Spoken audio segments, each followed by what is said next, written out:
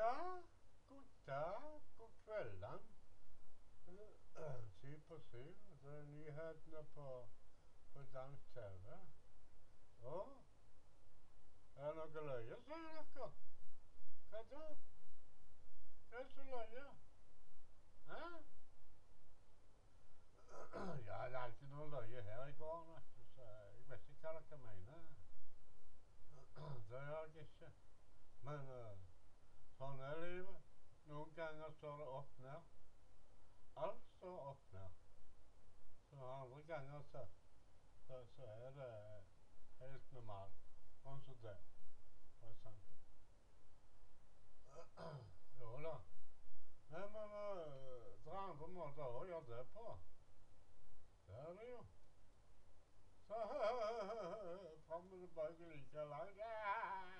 Den var fin. Den likte jeg. 패스 줄. 아, 패스.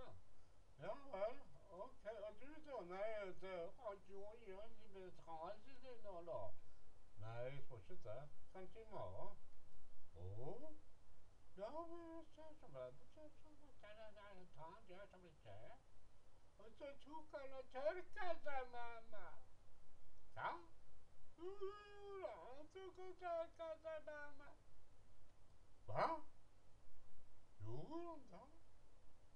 Ja. Jo. OK. Det var bare en liten test på de nye programmene der kommer her på på TV 2000. TV 2000. Det, det digitale bakkenettet er i Danmark. Det er fri kanal. Det er en fri kanal for alle som vil bli med. Vi skal da fortelle en webside, altså. Det skal vi. Må jeg ha en deilig, deilig aften alle dere der ser på dette her showet.